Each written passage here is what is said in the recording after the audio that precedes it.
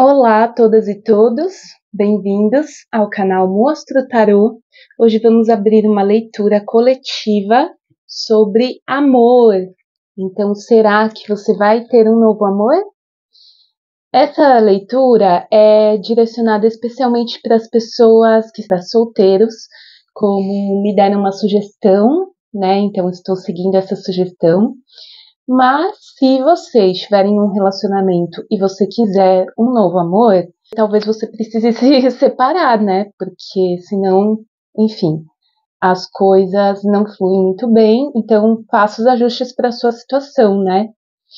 Tá bom? De acordo com a sua realidade. Então, eu vou pedir para vocês escolherem entre o baralho 1, que é o tarô de Marcélia, e o baralho 2, que é um tarô chamado de tarô egípcio, embora ele não seja do Egito exatamente, né? Ele é inspirado nos símbolos. Enfim, então enquanto vocês escolhem, eu vou abrir uma carta aqui das cartas do caminho sagrado como um conselho geral. E aí comenta aqui que opção você escolheu, tá bom? E aproveite e deixe o seu gostei, e se inscreva no canal se você ainda não é inscrito. Vamos lá, um conselho geral para iniciar aqui essa leitura. A carta Escudo do Norte, Sabedoria, Gratidão. Essa carta é bem bonita, é, o, é a búfala, né? A energia da búfala. Então, essa, esse oráculo é baseado em cosmologias nativas é, norte-americanas e aí ela, ele apresenta a roda das direções, né, que também é chamada de roda da cura, que é, tem os, os pontos cardeais. Então, a direção que equivale ao norte, para essa cosmologia, é representada pela búfala. E fala que é uma energia feminina, né, que tem toda uma história de um momento de escassez, e que essas pessoas estavam vivendo assim uma realidade muito sofrida. E e aí tem variações dessa história. É, mas resumindo em algum momento se apresentou o espírito de uma novelha de búfala branca. E ela apresentou o tabaco né para esse povo então, o tabaco, ele vem também nessa energia, né, de, é, de tratar o espiritual é, e associado à sabedoria, à gratidão, à abundância.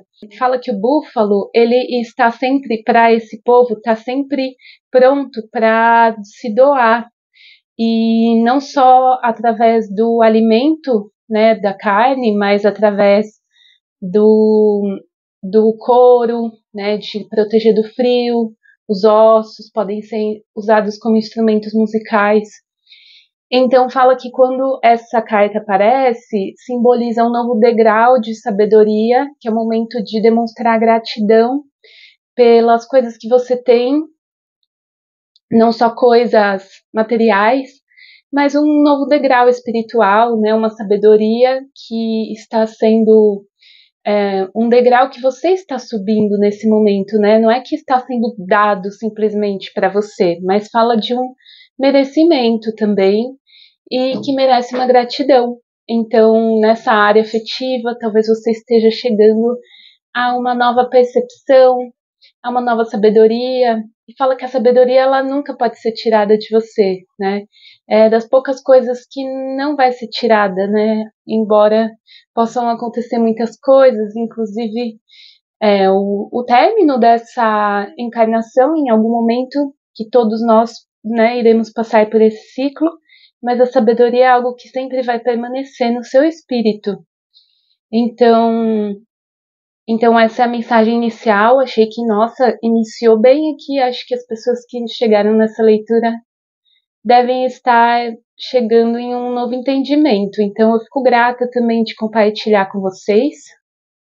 Vamos lá. Então agora a gente vai começar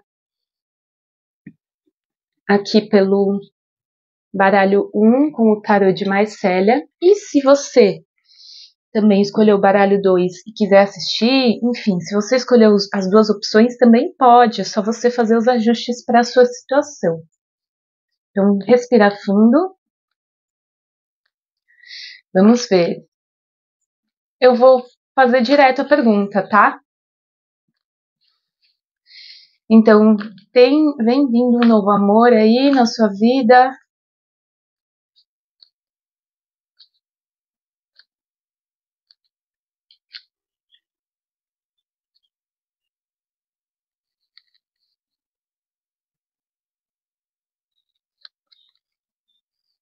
Nossa, já saiu sim aqui, viu? Saiu com o imperador. O imperador responde positivamente. Fala que é, essa, esse novo amor pode ser uma pessoa que tem essa energia mais yang, ou também, se você ainda não conheceu essa pessoa, enfim, que o se focar na sua vida material, é, na vida da organização mesmo, é, ser mais pé no chão vai te auxiliar. Então, nesse sentido, eu entendo aqui que é você, por exemplo, é, não se iludir. Entendo aqui que as pessoas que escolheram essa opção são pessoas bem pé no chão. É, eu falei não se, não se iludir, mas na verdade talvez você nem tenha muito esse problema. Ou que você, sendo mais realista e pé no chão, a sua vida afetiva vai melhorar, sabe? Mesmo que você já tenha se iludido. Porque aqui é assim, observar as atitudes, coisas práticas, sabe? E se não dá muito certo, porque não é, se não deu muito certo, porque não era para ser. E o que tiver que acontecer, vai acontecer, vai fluir, mas vai fluir também de um jeito que você não vai ter dúvidas, porque imperador, assim, não deixa dúvidas. Então, talvez seja você desenvolver essa qualidade também, né? A morte, nossa, arcanos fortes.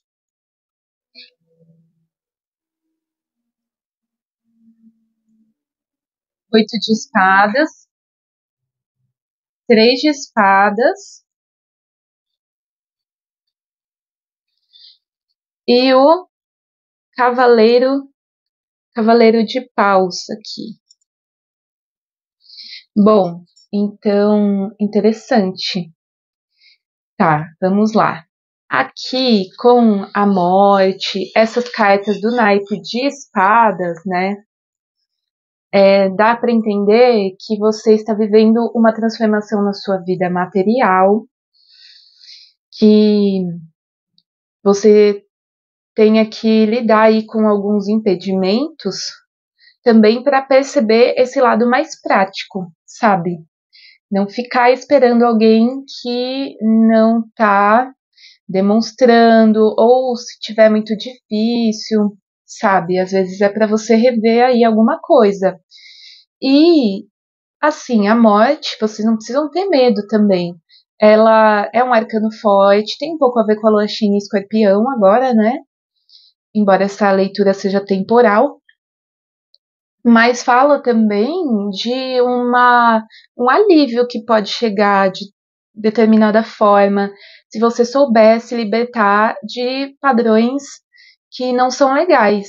Então, aqui eu entendo como um movimento que parte de uma transformação também interior, é você hum, olhar um quadro maior o oito de espadas fala de interferências, pode ser interferências de outras relações, interferências de acontecimentos que a coisa não flui e talvez em algum momento você já se deparou com isso. E aí fala para buscar novas saídas, para você lidar com alguma dor também. É, talvez seja a transformação disso, você se libertar de medos, ter mais pé no chão, então assim você consegue lidar melhor, né? E aqui o Cavaleiro de Paus é, fala de uma mudança, você indo para um novo ciclo, talvez você mudar algum padrão de escolha.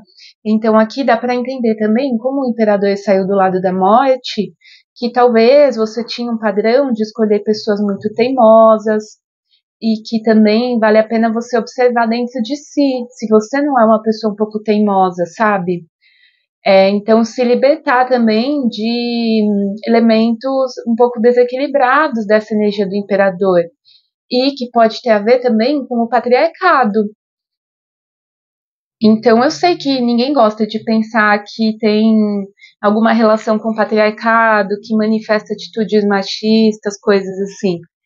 Mas vale a pena observar de que forma, sem querer, isso está arraigado dentro de você.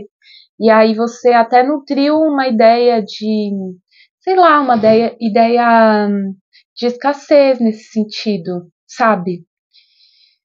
É, de, por exemplo, ai, você teve um pai ausente, aí, sem querer, depois você acaba é, se relacionando com pessoas que ausentes, pessoas que não estão disponíveis, é, porque você tem essa referência, embora é um exemplo, tá? Adequa a sua realidade, embora possa não te fazer bem. Então, vale a pena é, aceitar isso, olhar e buscar essa transformação para lidar com algumas interferências que podem surgir, mas que de repente tem a ver com um padrão de escolha. E aqui o cavaleiro de paus, eu vejo você se dirigindo a novas coisas. Então, que novas coisas você pode fazer nesse momento que vão auxiliar na sua vida afetiva, Aqui também dá para pensar em atividades físicas, é, você encontrar um hobby ou, sei lá, direcionar o seu trabalho de uma outra forma, uma algo assim, sabe? Uma mudança que você tem que empreender e talvez você ter esse lado mais yang, sabe? Não ficar assim tão, ai, tá bom, ah, sabe, vou esperar, sabe? É, não sei se dá para entender, mas é o que está vindo na minha cabeça. O que eu estou sentindo aqui. Vocês me falem se faz sentido. E aqui o seis de ouros. O seis de ouros é, tem uma relação com espera, mas uma espera que vale a pena, né? Um, uma frutificação material, sucesso, é, dar e receber. Então, aqui dá para entender também de assim, observar as atitudes das pessoas, o que, que a pessoa oferece, sabe, já no começo. E assim, como eu falei, logo de cara respondeu positivamente para você que escolheu essa opção. Só que além do sim, é, o tarô ele também hum, dá uma série de indicações assim de ah, vai por aqui, não vai por ali, entende? Então ele está respondendo positivamente, ao mesmo tempo que está falando que para esse novo amor ser legal, para você receber o que você precisa é, e ofertar também, é, você é, é propício você olhar para essas questões que eu falei aqui que assim vai fluir melhor, tá bom? Então, essa é a primeira leitura. Deixa eu abrir aqui uma carta do Oráculo da Lua Vermelha para você. Como um conselho para fechar essa opção 1.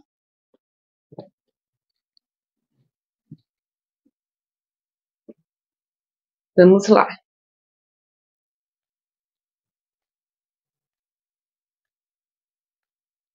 Vão me falando se faz sentido, tá? Então, conselho para você aqui. Mãe interior. Ó, imagem, a mulher na, na árvore, com, com um coelhinho aqui, cestinha de pão, né? Fala assim: no seu coração e no seu útero está o chamado para lançar ao mundo as energias da mãe, Ouça esse sentimento, abra os braços e ofereça esse serviço sagrado para o bem de todos, com a bênção da mãe. Sirva os outros com amor, mãe interior. Então aqui está falando de que talvez você, não sei se você já é mãe, se você quer ser mãe, se esse novo amor aqui que você está pensando talvez também tenha a ver com você manifestar essa mãe e os os outros, né? Você deve ser uma pessoa generosa, você deve ter vontade de se doar. É, e fala que está propício para você. Ao mesmo tempo, fica essa reflexão para você observar o que a pessoa te oferece, porque depois que você estiver servindo, é importante também receber um carinho, um cuidado e não só servir, né? Mas também é, ser servida, né, gente? O que, que você sente? Eu espero que essa leitura possa auxiliar. E se você quiser agendar uma leitura particular, você pode me chamar, tá bom? Tem meu curso de tarô de Marcélia também, que é esse primeiro tarô que eu usei aqui. Agora vamos para a opção número 2. Será que tem um novo amor? Você vai ter um novo amor em breve aí?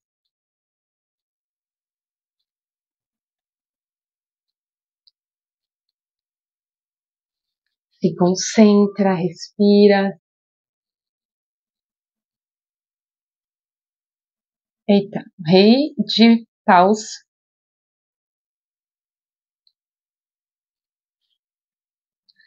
O eremita, sim, também aqui com o eremita, porque eu considero sempre os arcanos maiores, né? Mais, assim, para a resposta do sim ou não. Então, o rei de paus já fala de uma presença na sua vida, mesmo você sendo alguém que se relaciona com mulheres, independente do seu gênero, né?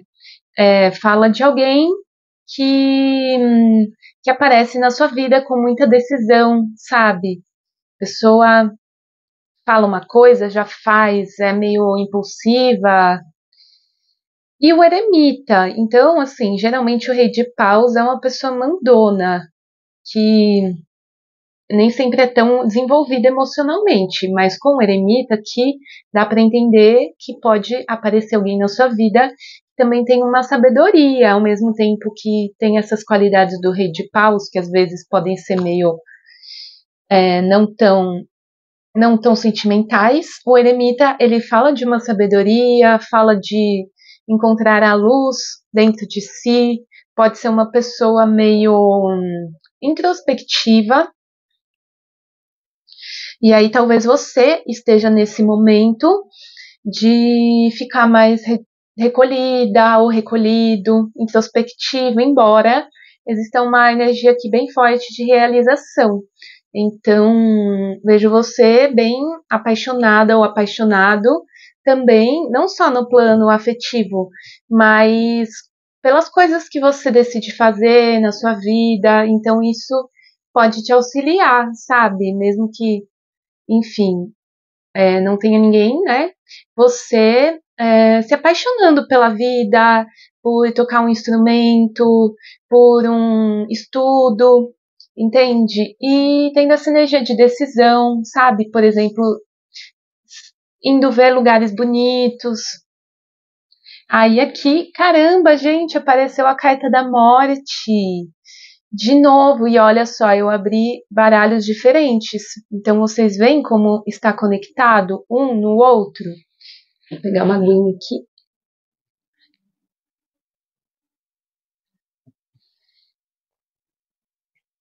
Então, como eu disse, a carta da morte está muito relacionada com a lua cheia em escorpião, com transformações, com com coisas que você precisa se libertar. Então, eu vou fazer aqui essa interpretação pensando também nas qualidades, nas, nos defeitos desses dois aqui. O que, que pode ser pensado? Pessoas que decidem, falam assim, ah, e a gente vai fazer tal coisa, aí a pessoa decide tudo, você quase não decide, sabe? Você percebendo um padrão de se relacionar com pessoas assim, pessoas tipo apressadas, que ficam te apressando, e se você não faz, faz o que elas querem, ai, nossa, vira tudo uma guerra, uma briguinha chata. Então o rei de paus pode ter esse lado. É você se libertar, né, de relacionamentos que não foram legais, de pessoas super, sabe, mandonas e e aí, por exemplo, o eremita aqui, o que que pode falar? Então, respondeu positivamente para você também, mas talvez você tenha que se liberar, examinar no seu passado o que você já viveu e o que você não quer mais. Então, o eremita é aquela pessoa que pode ser meio egoísta, sabe? Que até pode gostar de você, mas fica ali. Às vezes é uma pessoa que ela, tipo, é um artista é, ou tem esse dom né, artístico, é sensível, mas ao mesmo tempo a pessoa não mostra os talentos dela para o mundo, mas ela se acha e ela acha que quem está fazendo movimento, é, sabe, às vezes fica meio, ai, porque aquilo não é tão bom para mim. Então podem ser pessoas assim que você já se relacionou e que ao mesmo tempo a pessoa é assim com você. Então, se você faz um movimento, ele fica lá na caverna dele, pode ser alguém que fica até meio com dor de cotovelo, sabe? Um hit pausa, um eremita. Enfim, dá para pensar em várias coisas. Então, que novo amor é esse que você está querendo atrair na sua vida? A carta do julgamento. Então, assim, você talvez já tomou consciência aqui desse padrão, você tendo um renascimento, um chamado mesmo da espiritualidade. É, dá para entender aqui que você não quer só uma pessoa para passar o domingo à tarde, alguém que caminhe espiritualmente junto com você, né? Não só alguém para ver o Domingão do Faustão à tarde, né? Tipo, algo assim mas alguém que esteja aí do seu lado de verdade, né, em uma busca também espiritual, enfim. Aqui vieram pessoas bem profundas. E, nossa, o louco, gente. Aqui, olha, todos esses, exceto o rei de pau, são arcanos maiores. Então, aqui respondeu sim e fala de um, um novo ciclo para você, porque você está é, em outra, sabe? Acho que ressoou bastante essa carta aqui do escudo do norte, né? Como eu disse, talvez as pessoas que chegaram aqui são pessoas que estão com, com outro senso, outra, outra sabedoria perante a vida, sabe? Ou estão desenvolvendo isso. Aqui o louco fala de um novo início e de você se libertar mesmo de padrões, de, de medos. É, então, para onde você quer ir? Quais são esses novos, novos inícios que você quer empreender? O julgamento também sobre o ser ingênua, ser inocente, é, não, então assim, né? O você confiar no caminho, no processo é legal, mas cuidado, né? E eu acho que você já está tendo essa percepção sobre pessoas totalmente, é, totalmente assim, como é que eu posso falar? Descompromissadas, sem responsabilidade afetiva, então coisas nesse sentido aqui para você pensar. E o As de Espadas, então, fala de você ser mais racional, de é, identificar a verdade.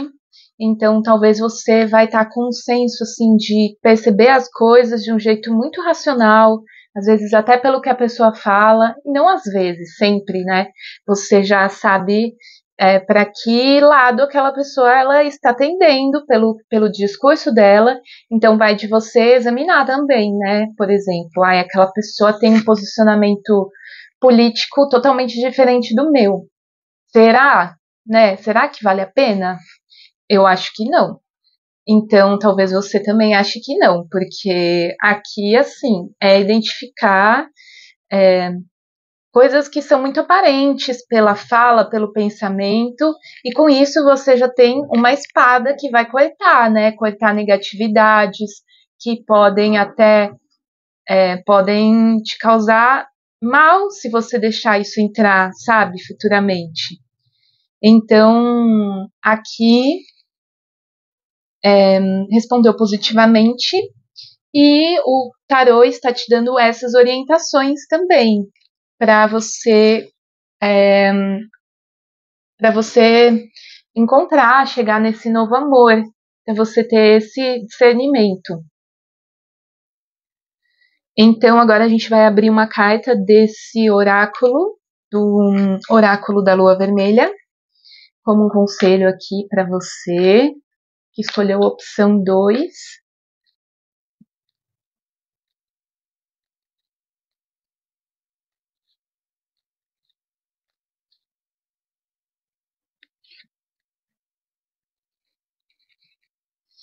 Ó, oh, que bonita essa imagem. Feiticeira interior. Então tem uma mulher com um cajado e tem um cristal, né, na ponta aqui. Tem um lobo, um cão e um dragão. E é de noite. Então fala assim: A feiticeira passa pela sua vida limpando tudo que é velho você, porém, está segura sob seu manto escuro. A mudança é um dom do amor divino.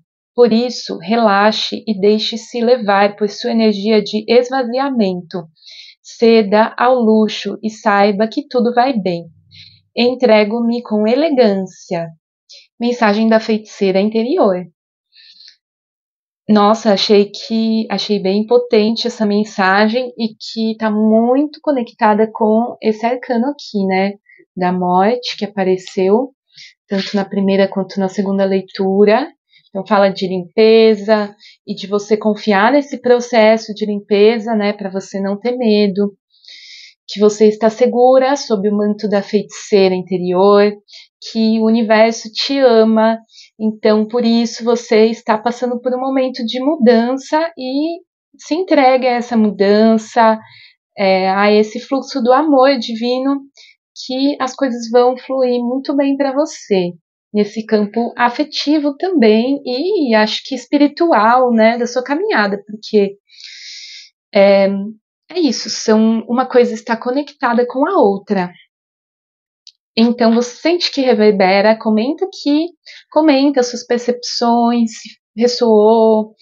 E é muito bom, é muito importante para mim, né? Se você quiser agendar uma leitura particular, você pode me procurar, tá bom?